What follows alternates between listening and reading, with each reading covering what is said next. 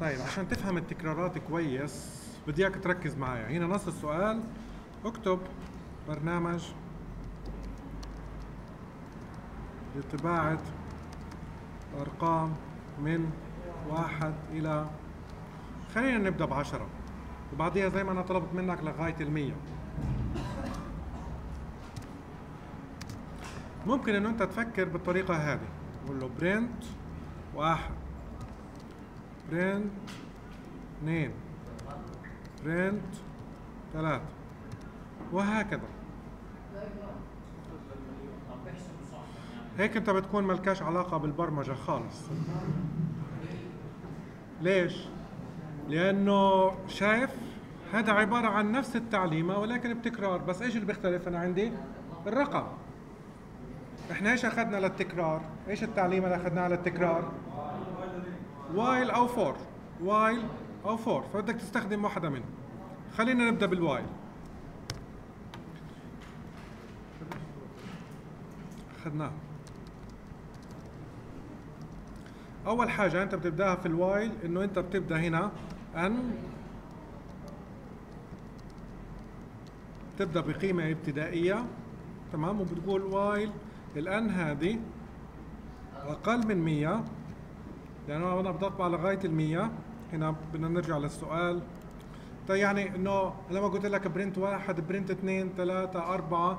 آه ممكن مقدور عليهم إنه أنت تسويهم لعشرة. لكن لو تخيلت إنه أنا طلبت منك إنه ل 10000 ل 100 لا بصير الإشي اللي أنت بتسويه مستحيل إنه هو ينعمل. بدك تسويه بتكرار. فخلينا نرجع هنا 100 طيب. إيش بدي أطلب منه؟ إنه لو سمحت اطبع لي الآن؟ الان لو تركته زي هيك إيش بصير عندي؟ إلى ما لا نهاية. شو السبب؟ الآن دائما بصفر بتغيرش عليها وأنت بتقول طالما الصفر أقل من 100 بضل الصفر أقل من 100 لكن كيف بدك تخلي إنه الشرط هذا ينكسر؟ تمام؟ إنه أنت بتحط الآن بتساوي آن زائد واحد. هيك أول مرة صفر واحد اثنين ثلاثة. لغاية المية بيكون ترو أصغر من مية. لكن لو عند هل المية أقل من مية؟ لا. لو وصلت المية لو وصلت المية وهل المية أقل من مية؟ لا. ساعتها بيتوقف الشرط. تعمل هنا برنت طيب شغل. فانا بطبع لك الأرقام من صفر لتسعة وتسعين. لو انت بدك تتقيد في السؤال وهو المطلوب إنه انت خليك دقيق بقول لك من واحد لمية. فايش بروح بسوي؟ بحط هاي واحد وهنا أقل من أو تساوي. شوف. أنت بدأ عندك من الواحد وانتهى عند المية. تمام؟ يبقى التكرار انت بدل ما تحكي print واحد print اثنين print ثلاثة أربعة خمسة ستة لغاية العشرة. لا هذا الكلام مش مجدي خالص. بدك إنه هي نفس التعليمة فبدك تستخدم التكرار. ليش إيه؟ هاي؟ حكيت خذ اللفة الأولى. واحد. هل الواحد أقل من مية؟ نعم. اطبع لي إياه ارجع بعد هيك. هل الواحد أقل من مية؟ نعم. بطبع لك إياه فبصير عندك مشكلتين. إيش هما؟ إنه بضلوا واحد دائما وفي نفس الوقت إنه عمروش بقر تمام؟ لأنه الشرط هذا بيصير دائما true متى إحنا بنطلع من ال while؟ إذا صار الشرط false هيو شوف. قاعد بطبع لك وحايد. شايفهم؟ بشكل سريع لغاية إنه أنت لدرجة إنه أنت مش ملاحظ الفرق. إنه هنا بصير في عندك scrolling في scrolling خفيف. تمام؟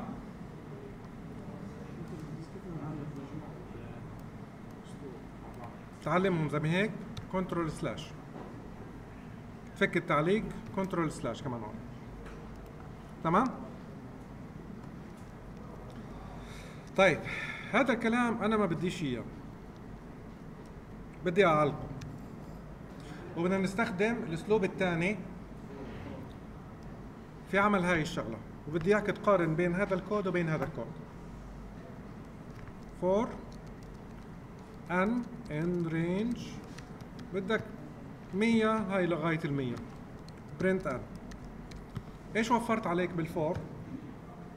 إنه أنت تعرف الان فوق تعطيها قيمة ابتدائية. وإنه أنت تعمل plus واحد كل مرة. فأنت عندك مين أبسط هذا ولا هذا؟ ال for ولا ال while؟ ال for. الاثنين بيسووا نفس العمل ولكن ال for أسهل. شوف.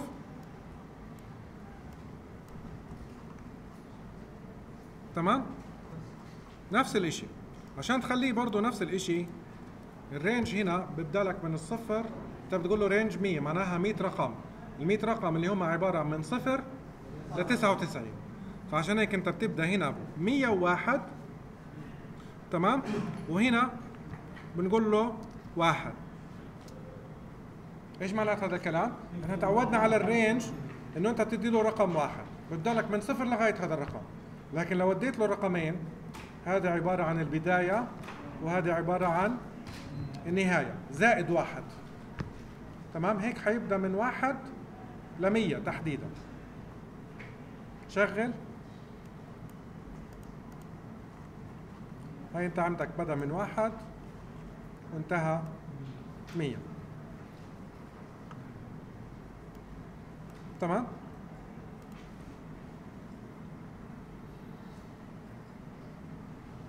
يبقى ال for وال while نفس الشيء.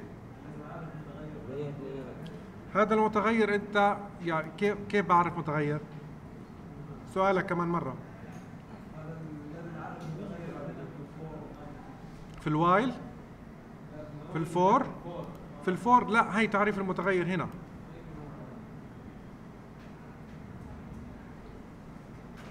تمام؟ هذا المتغير انت حر في تسميته. ممكن تسميه نم.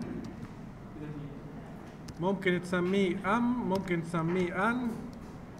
مثل ما بدك